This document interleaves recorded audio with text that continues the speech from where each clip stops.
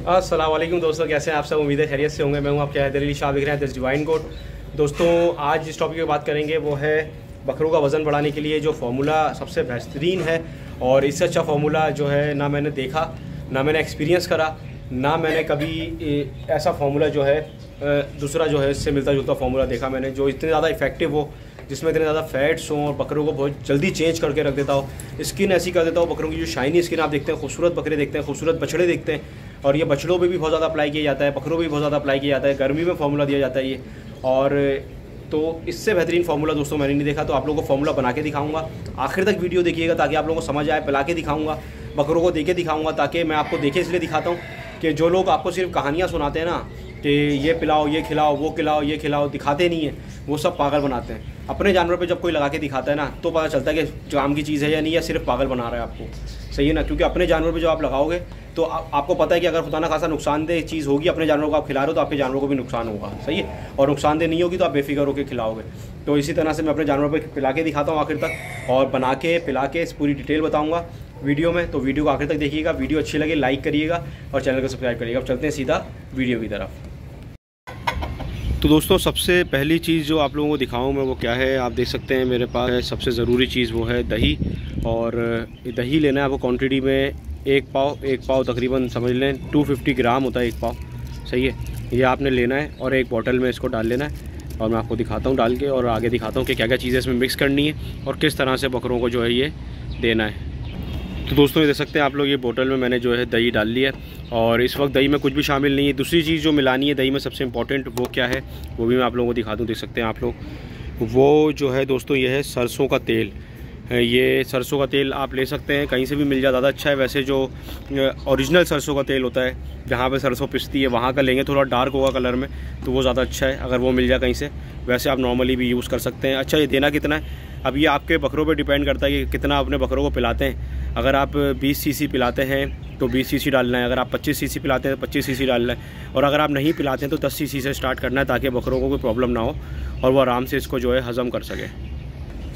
ये आप देख सकते हैं मेरे बकरे को तो आदत है तीस सी पीने की तो ये मैं तीस सी इसमें जो है वो मिक्स कर देता हूँ आपके सामने। सही है। ये मैंने जो है तीस सी जो है तेल इसके अंदर डाल दिया है बॉटल में और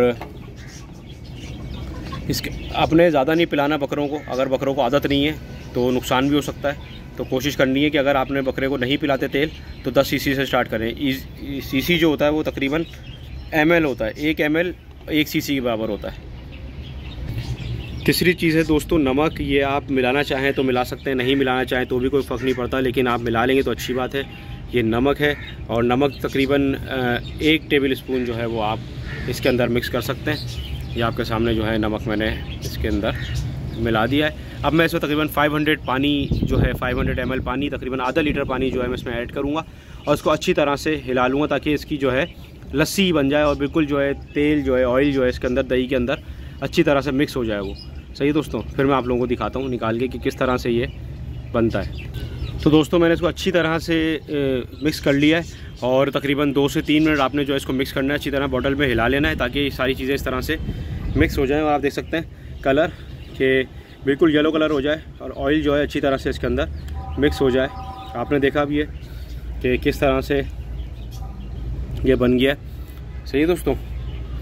तो आपने इसको इस तरह से बना लेना है और अच्छी तरह से मिक्स कर लेना है। और पिलाने का तरीका भी बताता हूँ मैं आप लोगों को कि किस टाइम पे पिलाना है और कैसे पिलाना है। बाकी ये है कि ये तैयार है इस वक्त और आप जो है ये एक बकरे को पिला सकते हैं हफ़्ते में दो बार। सही है दोस्तों? तो दोस्तों बकरे के सामने रख के देखते हैं ये और बकरे को देखते हैं क्या कंडीशन है और कितना पीता है और ख़ुद से पी ले तो अच्छी बात है और अक्सर तो ये पी लेता है ख़ुद से ही। तो मैं आप लोगों को दिखा दूँगा कि खुद से पी रहा है और अगर नहीं पीता तो जो है पिलाएँगे इसको। तो आप लोगों को पिला के भी दिखाएँगे कि किस तरह सिरिंज से पिलाना है। तो दोस्तों, अब जो है मैं आप लोगों को पिला के दिखाऊँगा कि ये देख सकते हैं आप, बकरों को पिलाना किस तरह से देख सकते हैं आप ये। कुछ भी नहीं करना दोस्तों, बकरों की ज़बान कभी नहीं पकड़नी, कोई चीज़ पिलाते वक्त। और देख सकते हैं आप, आपके सामने, सुकून से पी रहा है सिरिंज से, बिल्कुल, मज़े से। और ये पिला दिया है मैंने इसको। अभी और पिलाऊँगा मैं अच्छा खासा है तो अच्छी खासी क्वांटिटी में होता है दोस्तों। ये बड़ी, सबसे बड़ी साइज़ की सिरिंज है सिक्सटी एम की सिरिंज है तो उससे मैं पिलाता हूँ, देख सकते हैं आप। अच्छा क्या होता है, कभी ये खुद पी लेता है दोस्तों, कभी इसका दिल चाहता है तो कभी दिल नहीं चाहता अगर इसका। तो ये दोस्तों, इसको फिर इस तरह से करके पिलाना पड़ता है। ये देखा है साइड से जो, साइड से जो, अपना चपड़े के साइड में जो जगह होती है, वहाँ से सिरिंज डालनी है और कुछ भी नहीं करना हल्के हल्के उतारते जाना है। जानवर को ऐसे फील कराना है कि वो कुछ खुद पी रहा है। ज़बरदस्ती कभी नहीं करनी जानवर के साथ आपने। ज़बरदस्ती करेंगे ना तो फिर वो परेशान होगा, उसको पीने में प्रॉब्लम होगी। सही है?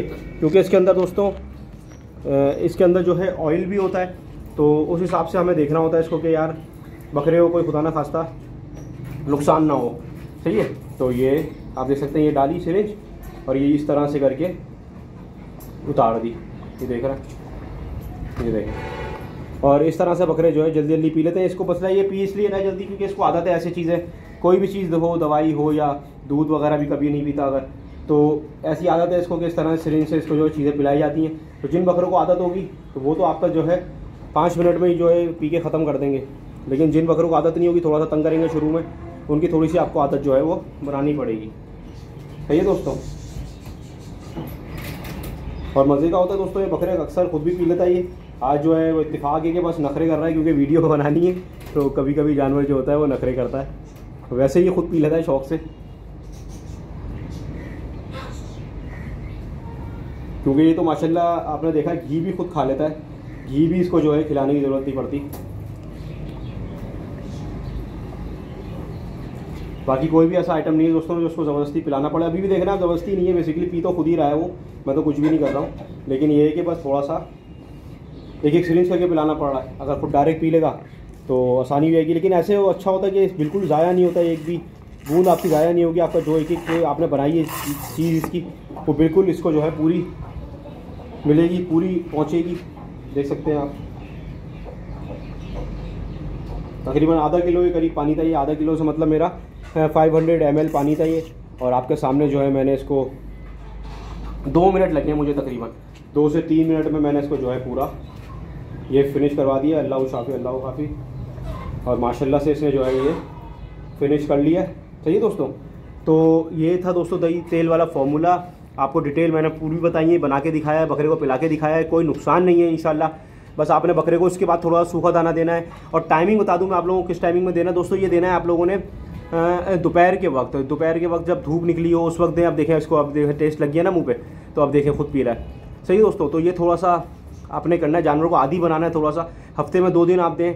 इसमें क्या होगा, जानवर को ठंडा रखेगा, मैदे को, ये दही, और जो है स्किन में शाइन आएगी। जानवर बहुत तेज़ी से फ़र्क में आएगा, तकरीबन पंद्रह से बीस दिन में आपको इसका रिज़ल्ट मिल जाएगा।